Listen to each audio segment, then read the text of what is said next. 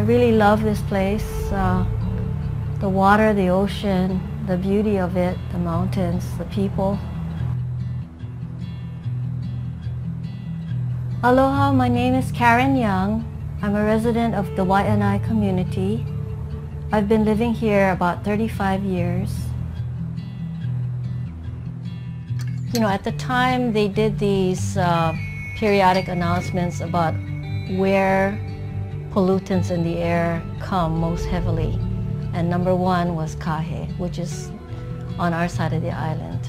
So I was concerned about us, you know, contributing to the pollution of this planet. We first uh, installed the PV system with batteries in 2006. The electric bill was probably 100 something, like 125, 150 per month. And after the solar was put in, it dropped down to, uh, I think it was $25. Within the year of the um, installation of our PV system, there was a storm. And um, one morning I got up, turned on the lights, and, and did everything I usually do. Everything worked.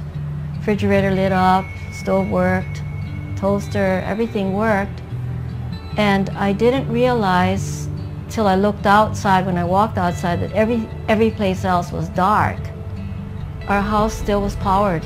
It was like nothing had happened. I knew that our batteries and our solar system had been working. You know, this is one small effort, but I think, you know, we all need to do much, much more for our grandchildren and the, you know, great-great-grandchildren and all the people that are to come. We have a beautiful earth, you know, so we need to protect it.